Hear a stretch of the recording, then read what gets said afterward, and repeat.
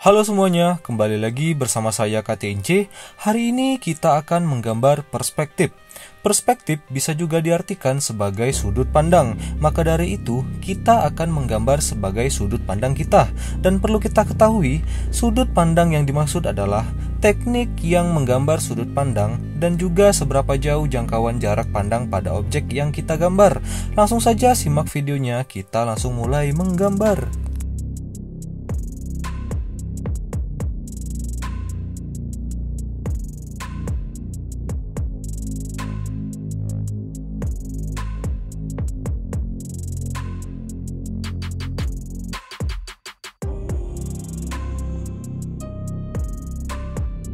Kalian juga bisa mengikuti pola gambar seperti ini. Dan awal menggambar itu yang pertama menggunakan pensil terlebih dahulu. Karena ketika kalian salah pada saat menggambar Maka akan sangat mudah untuk menghapusnya. Ketika kalian sudah selesai menggambar dengan menggunakan pensil Barulah kalian pertebal menggunakan spidol atau pena gambar lainnya. Kunci utama menggambar adalah sabar dan konsisten Menggambar realis membutuhkan kesabaran dan konsistensi. Jangan mudah menyerah jika gambar tidak sesuai dengan harapan kalian. Teruslah berlatih dan jangan takut mencoba. Selanjutnya, untuk mencapai tingkat realisme yang tinggi, kerjakan dengan bertahap. Jangan mencoba menyelesaikan semuanya dalam satu sesi. Ambil istirahat dan kembali melihat gambar Anda untuk menilai apakah ada perbaikan atau penyesuaian yang perlu dilakukan.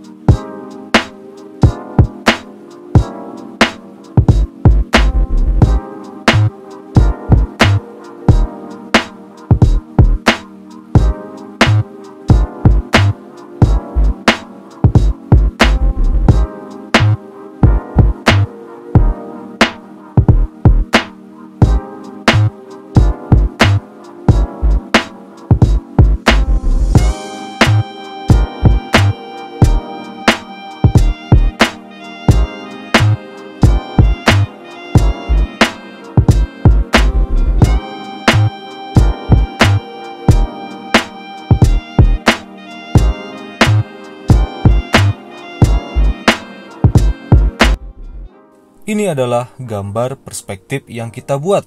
Semoga bermanfaat dan tetap semangat jika gambar kalian tidak sesuai dengan apa yang kalian harapkan. Semoga kalian terhibur dengan melihat video ini. Terima kasih telah menonton video ini. Like, subscribe jika kalian suka. Share video ini ke semua akun media sosial kalian. Sampai jumpa kembali di video berikutnya.